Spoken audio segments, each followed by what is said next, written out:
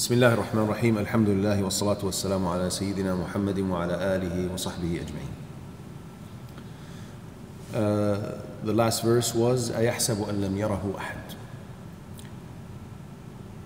Then Allah wa Jal says ألم نجعل له عينين Have we not made for him two eyes?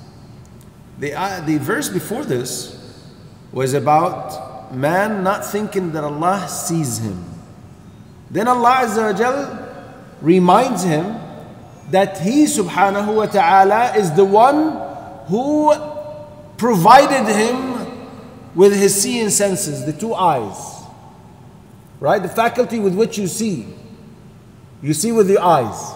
Who provided you with these eyes? Allah. Did you not think that He sees you, though He is the one who provided you with something with which you can see?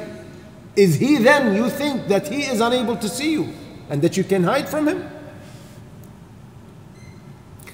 Uh, subhanallah, and this uh, logic in, in the two verses, uh, again, Allah Azza wa in the Quran uh, uses such logic a lot. Because if you're not convinced with something that touches the heart, then you will be addressed with something that you cannot deny, something tangible that you agree to and confirm to or of, right? So the eyes in, them, in themselves are a sign of the ability of Allah Azza wa. Subhanallah, I don't want to go into the details of, of the scientific uh, aspect of the eyes and the number of nerves and the number of veins and number and it's too complex and too detailed. So Allah Azza wa is remind, reminding arrogant people this human being who forgot his origin and who forgot who created him and who forgot who blessed him with this favor. Eyesight is a favor, is a bounty from Allah Azza wa Jal. And Allah Azza wa Jal didn't ask you anything in return except to use it in His pleasure and to refrain from using it in what displeases Him. What displeases Him. So the only return expected from this bounty you're blessed with is to properly use it for the purpose it was created for. It was not created for you to misuse it. To look at things that you're prohibited from looking at. Use it in something that is permissible and in reflecting on the signs of Allah Azza wa Jal that lead you to Allah Azza wa Jal and that strengthen your belief and faith in Allah Azza wa Jal. And it's the question here is a form of making the questioned person confirm to the fact. So it's not like, don't you know that we've given you eyes? You're going to say, no, I don't have eyes. This is not an intended answer. The answer is, of course. Yes, I confirm. And this is the intended purpose behind uh, this question. Now, one of the reasons or one of the ways of the Quran is that He reminds us, Allah Azza wa reminds us in the Quran with things that will become means of accountability on the day of judgment. Right? Allah Azza wa is mentioning the eyes. Right? And Allah Azza wa will hold us accountable. We saw the signs that prove the greatness of Allah Azza wa Jal and the oneness of Allah Azza wa Jal, the lordship and the divinity of Allah Azza wa Jal. So we will be questioned about that. A blind person will be held accountable in general, but this is something that Allah deprived him from, so he won't be held accountable for. As Allah Azza wa Jal uh, says in Surah Al-Insan, فَجَعَلْنَاهُ سَمِيعًا بَصِيرًا We made him hearing and seeing. So we gave him the two senses with which he can see and he can hear. He can see the signs and he can hear the message. So he has no excuse in rejecting, in denying. ولسانا وشفتين and a tongue and two lips. With one tongue, we can be destroyed. Can you imagine if we were created with more than one tongue? No, seriously. Allah Azza wa Jal, the scholar said Allah created man with two lips so that it is the principle of the situation of the mouth is that it's like this. It's closed. The lips guard the tongue from uttering something because the moment you, you open up, recording starts. And as the Prophet ﷺ said to Mu'adh, and this is a, an authentic narration reported by Ahmad, classified as authentic by Al Albani. It's a long narration, but at the end, he said, Sallallahu Alaihi Wasallam, What else do you think of Mu'adh? Would cause people to be thrown on their faces in the hellfire other than their consequence of their tongues, meaning what they utter. It's destructive, it's a lethal weapon if we don't use it properly. Another uh, reason or justification of mentioning or coupling these two together, the tongue and the lips, as some of the scholars said, is that you can't talk properly and fully without using both. Because there are letters that are purely uttered by or pronounced by or from the lips, like the meen, the ba, the waw, and the fa, right? And there are many letters, subhanallah. It's, it's interesting enough that the majority of the alphabet is pronounced from the tongue. The majority of the letters is pronounced from the tongue. As an indication that it's, uh, it's seriously destructive if you misuse it. Most of the letters are pronounced from there.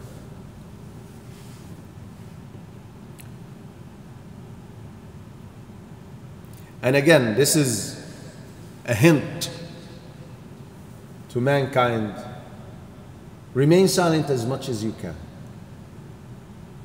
As the Prophet ﷺ said, من كان يؤمن بالله واليوم الآخر فليقل خيرا أو ليصمت. Whoever believes in Allah and the hereafter, let him say something good or remain silent. Remain quiet. It's better for you. It's safer for you. That's why it's recorded that some of the Salaf used to uh, talk only when it's necessary to talk. One of the students of Sheikh Ibn Baz, rahmatullahi alayhi, told me that Sheikh Ibn Baz, if he was not talking to you, he would be uh, remembering Allah subhanahu wa ta'ala, la. When you ask him a question, he will be moving his lips until it's time for him to respond, to give the fatwa or the explanation, or sit in a, in a uh, study circle. Then he would talk. Other than that, he would just remember Allah Azza wa and utilize this tongue and these two lips for that. Then Allah Azza wa says, وَهَدَيْنَاهُ النَّجِدَيْنِ And we have shown him, we have guided him uh, the ways, the two ways, uh, rather, not the ways, the two ways. What are these two ways? The predominant opinion, there are different opinions, but the, the, predominant opinion regarding this is that it's the way of evil and the, the, the, the way uh, of good. Allah Azza wa Jal clarified for us, made it very clear. And some things, Allah Azza wa Jal created man naturally knowing that it's evil and naturally knowing that it's good. Whether you're a believer or disbeliever, you naturally know that killing is evil. Lying is evil. Cursing people and bad mouthing them is evil. being merciful to the weak is good. Being kind in treatment to others is good. So Allah Azza wa Jal created us with certain things that we know by nature and then guided us through messengers and books to the path of good and distinguished, differentiated between the path of good and the path of evil through other means. So people were guided the path of Tawheed, the, ta- the, the path of Islamic monotheism, and the path of polytheism was made clear. The truth and falsehood were made clear. Everything was made clear. Distinction between them was made clear by Allah Azza wa Jal, so now no one would have an excuse with Allah Azza wa Jal on the day uh, of judgment.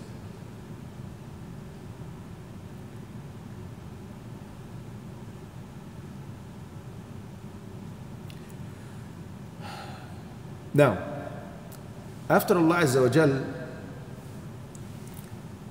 clarifies what's good and what's evil, Allah leaves the decision, leaves the choice up to the human being. So, when it becomes, or when the truth becomes very clear, it's natural, or the natural reaction expected is that one would follow it without reluctance, would hasten into it. Correct? That's the expected natural reaction or response.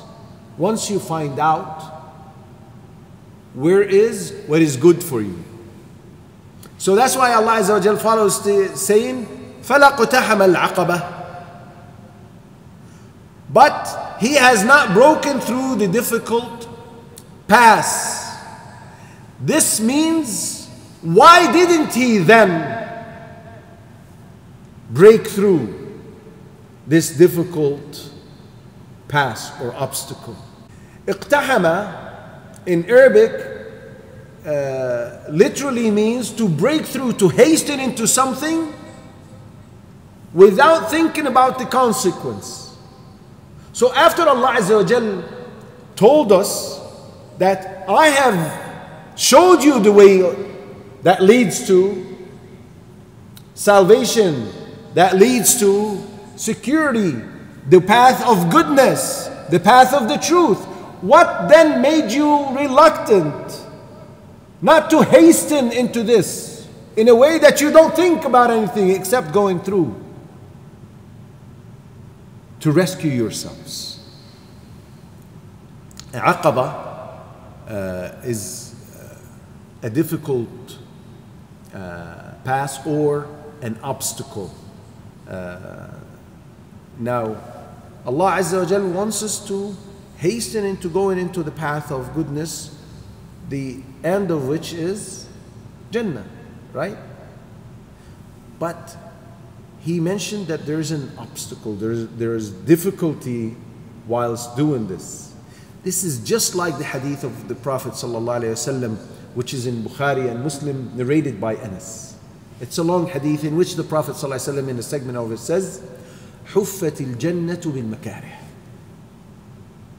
Jannah was surrounded with difficulties, meaning the way leading to Jannah is difficult.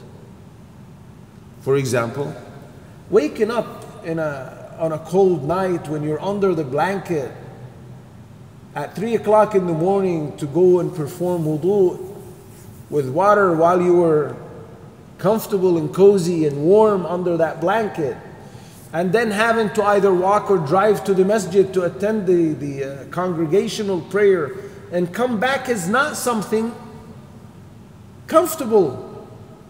It's a test, it's something difficult. That's why many people don't do it. They fail the test maintaining or observing the fast during long days. I remember the first summer in Texas I, I fasted.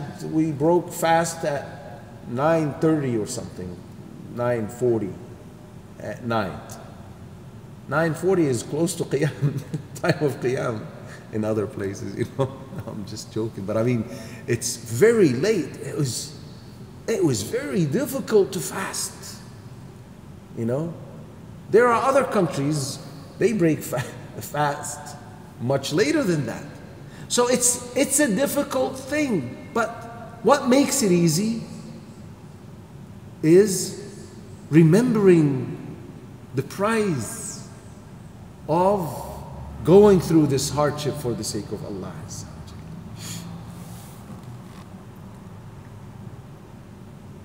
And by putting it in this way, right, that this is the obstacle, but after which you will reach Jannah, makes it much easier for one to strive very hard to overcome it and go. Right?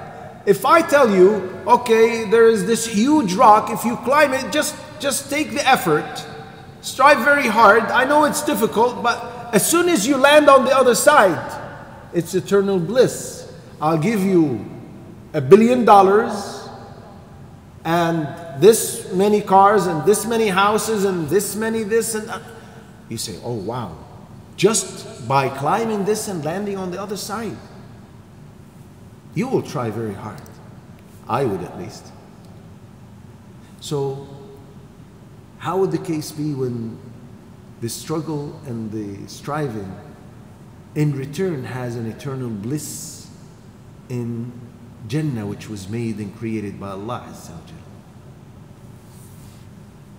then Allah Azza wa goes on to say, وَمَا أَدَرَاكَ مَا الْعَقَبَةِ And what can make you know what is breaking through this difficult pass is? Again, to magnify this matter, this question is emphasizing on this issue, the matter of this obstacle, this difficult pass uh, that Allah Azza wa Jalla is talking about to motivate mankind to work hard to overcome it and pass it.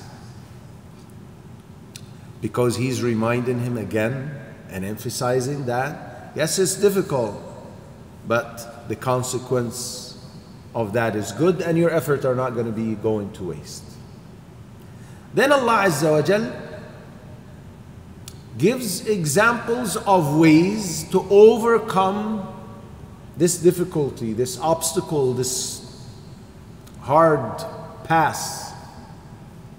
فك رقبة. It is the freeing of a slave. أو إطعام في يوم ذي مسغبة or feeding on a day of severe hunger.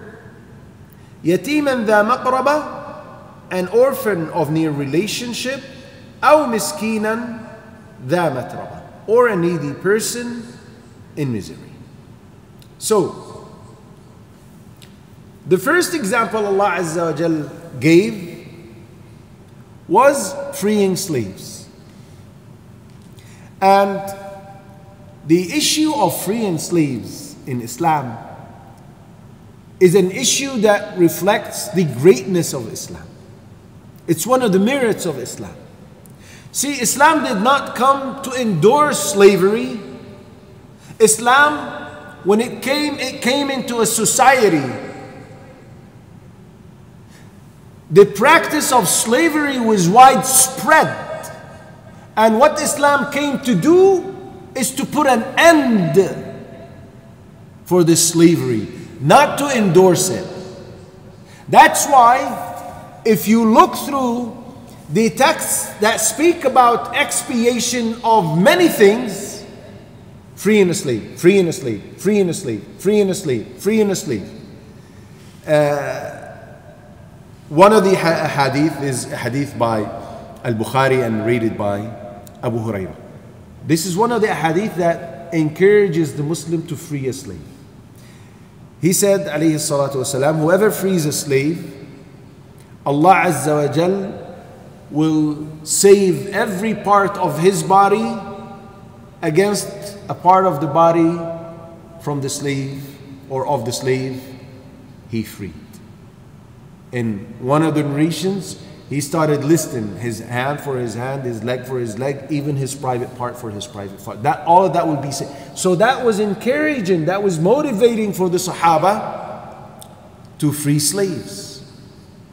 So Islam, unlike how it is uh, described uh, by misleading media, Islam did not endorse slavery. Islam came to give a cure to an illness that was widespread, a phenomenon that was widespread. He dealt with it in order to diminish it until it disappears. Now, notice this surah is a Meccan surah, right? And uh, in, in the Meccan uh, Quran, no legislations were made. Yet the issue of freeing slaves uh, was brought up here uh, as, as one of the exceptions, you know, because it's an expiation for things that one does wrong, right? And uh, subhanallah, uh, among the great, or rather, he is the greatest companion, radiallahu anhu, Abu Bakr, uh, was one of those who immediately acted upon overcoming this obstacle and this difficult pass by means of freeing slaves. Uh, he's the one who freed, for example, Bilal. And he used to go to the Quraysh, and whenever he uh, would see them torturing one of the companions, the new believers who were slaves, he would take them, buy them, and then free them for the sake of Allah. So uh, Abu Quhafa, his father, uh, as uh, Ibn Ishaq uh, reports, came to him one day and he said, Son, I've noticed that you're freeing, uh, you're buying very, very weak people. Why don't you buy a strong slave who can be of help? And you can use him for some of the tasks. He said, Oh, Father, I am only buying them to free them for the sake of Allah. Or feeding, أو إطعام في يوم ذي مسغبة. Or feeding, another example, on a day of severe hunger. A day when food is lacking or prices are high and it becomes difficult for people to buy what sustains them, right?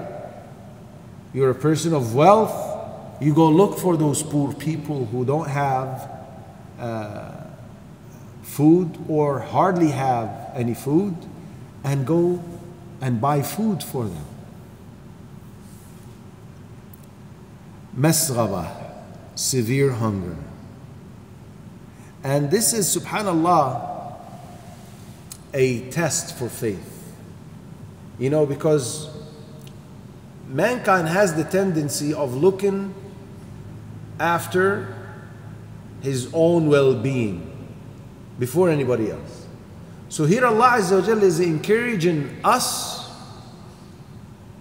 to be concerned about others, particularly during, during times of hardships, because that's when real faith is manifested. You know, at the time of ease, everybody claims faith. But when does the test come? When things become difficult. You have to give up while you really need it. Right? No food available.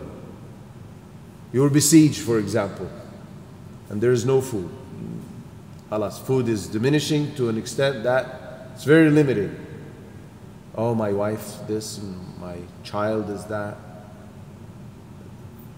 But when you favor others, that's a real test for your faith. Like the story of the Prophet ﷺ when he is approached by a man and he said, O Prophet of Allah, I'm a hungry person who has no food. Feed me. So the Prophet ﷺ got up and went to all his rooms, all his wives, and asked every single one of them, These are the houses of Muhammad sallallahu wasallam. Every one of them answered the same. By the one who has sent you with the truth, we have nothing but water. All the houses of Muhammad. All of them are out of food and it's only water. Yes, this is how he led his life. He didn't care about this dunya. So the Prophet ﷺ went back disturbed, saddened, and looked around and addressed the companions and said, Who would host this man? He did his part. He had no food.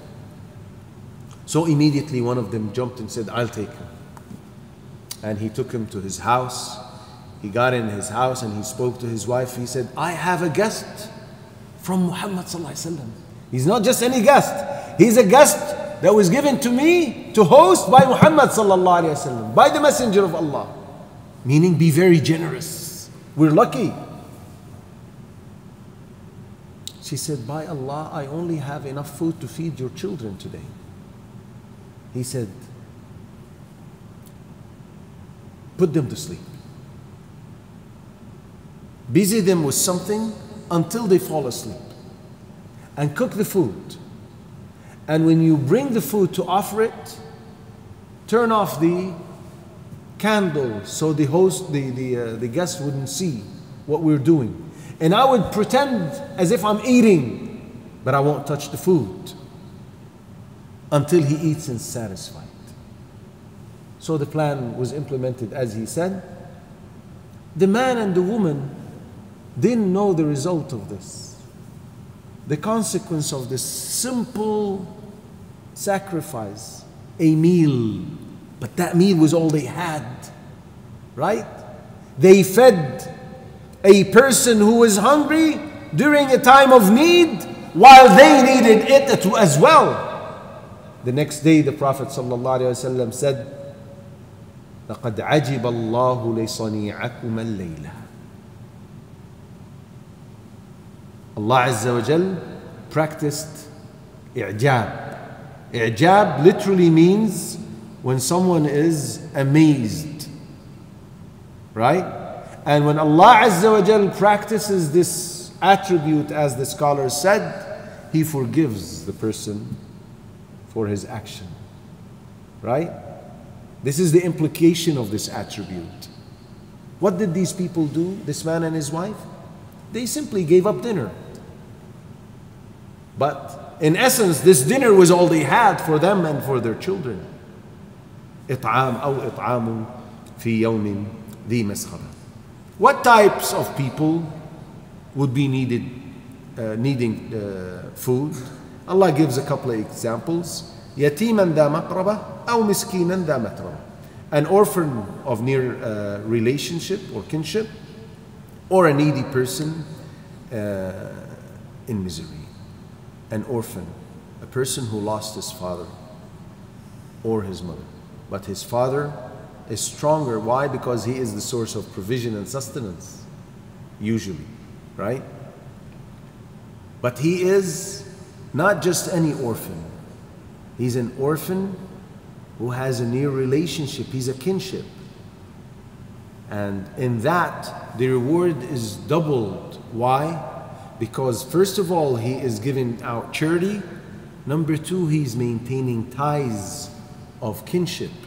As the Prophet ﷺ said, when one of the companions asked him how to spend his uh, charity, his money, he wanted to give out some charity, he said, put it, meaning spend it in your, uh, on your kinship because in this it's a charity and maintaining ties with kinship.